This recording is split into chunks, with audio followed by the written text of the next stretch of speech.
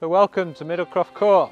As you can see it's a lovely three plot development, secluded private development with your own private gateway, lovely modern houses with anthracite windows, big large windows, lovely large rooms inside as you will see. So as you can see this is the living room, a lovely spacious living room, large large window looking out of private drive, all the modern cons in here like satellite point, aerial, all inbuilt into the wall so there'll be no unsightly gables.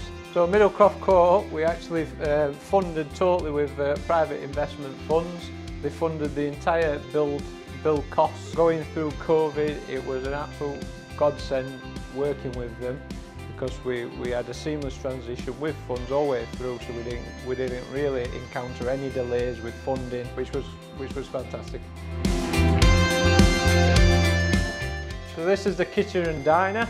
We put a lot of thought into this because in modern day living now people like the kitchen and diner for social space and we put a lot of thought into this even though it's a compact house there's everything in here so we've got full spotlights, modern spotlights, we've got TVs on the wall, we've got all integrated appliances, dishwashers, etc. And then over here we've got a nice set of French doors overlooking a generous sized garden with full patio area. You can enjoy those summer days outside because you get the sun more or less all day.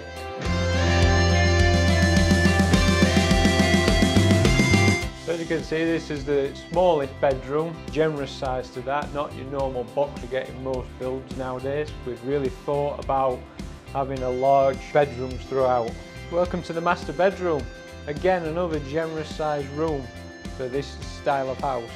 And the second bedroom is a very similar size but this one with the added bonus of the, the full ensuite yeah, so this is the second bedroom. As you can see, another lovely sized room, plenty of room. So this development is now complete and all sold.